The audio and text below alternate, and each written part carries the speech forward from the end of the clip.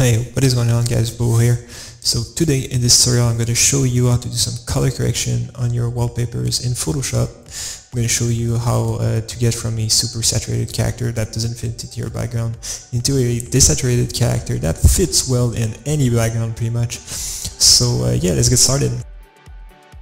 So you're here in Photoshop now and uh, I want to show you how to get here pretty much uh, starting from there.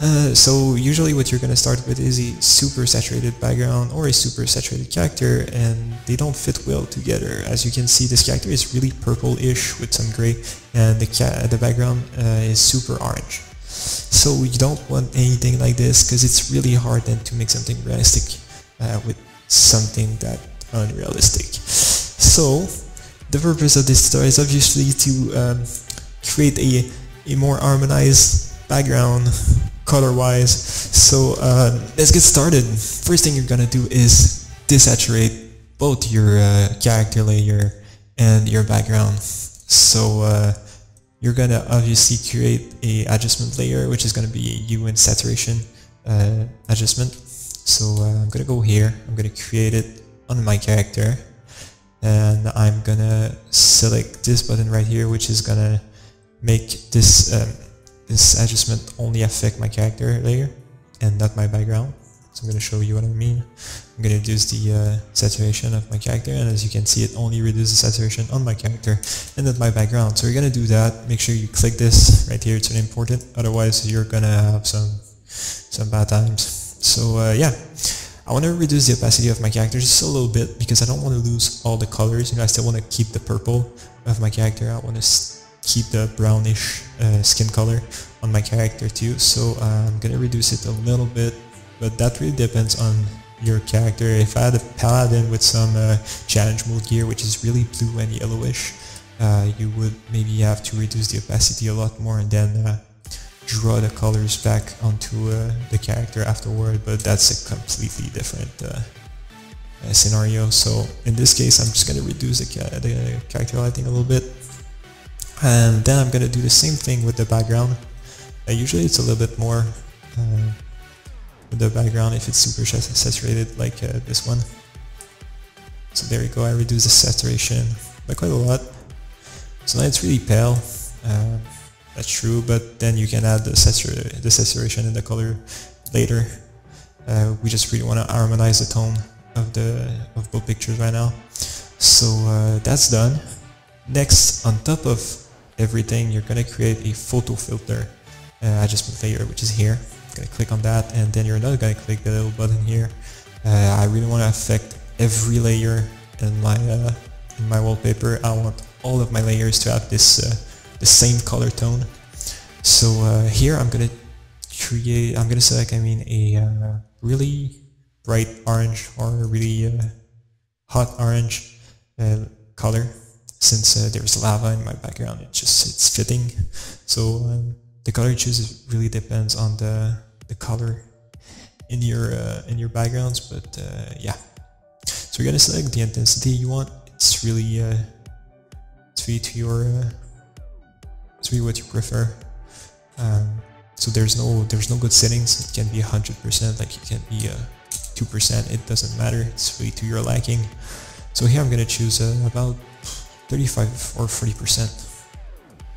And uh, yeah that's pretty much done. So uh, as you can see it gives some uh, some orange lighting to my character and my wallpaper uh, not my wallpaper my background. And uh, it just harmonizes the color a little bit more. So now the back the there's some color lighting I guess effect on my character and uh, there's some color effect on my background too. So um, the color are more harmonized already. Uh, the color tones too. They just fit better together.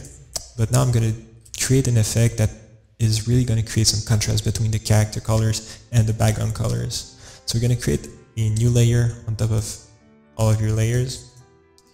And then you're going to create a, I mean you're going to select a gradient tool um, right here.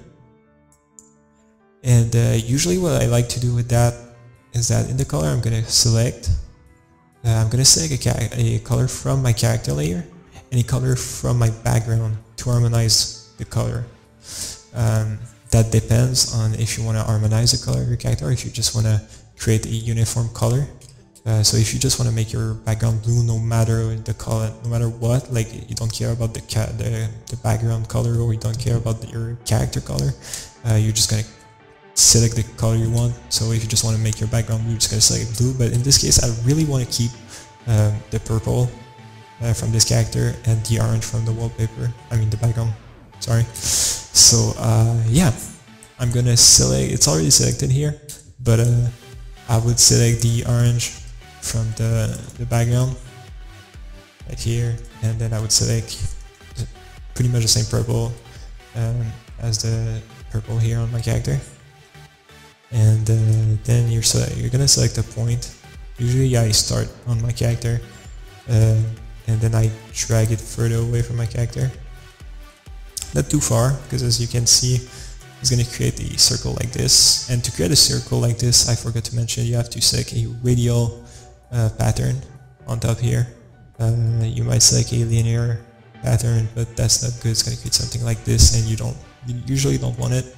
Uh, you want to create a more circular pattern like this. It just looks better, I feel like, but you know, you can do whatever you want. It just it always depends on the character. I mean, on the the wallpaper you're trying to create. It's never the same. So uh, yeah, so I'm gonna create the uh, the pattern here and then I'm going to select a uh, soft light layer mode here on the layer I just created the pattern on. So uh, you're going in the layer mode, select soft light, and then it's going to create something like this. So right now it's really intense. I'm going to reduce the opacity uh, by a lot, but uh, I just want to show you real quick what it does. Um, I select some purple from the character, but I, I applied it on the background. So um, now there's some purple uh, color in the background all around it. And uh, there's some orange too in the middle on my character layer. So now there's some orange from the background on my character and there's some purple from my character onto the background. And it's going to create some contrast and it's going to harmonize uh, the color from my character and my background and it's going to just make something fitting.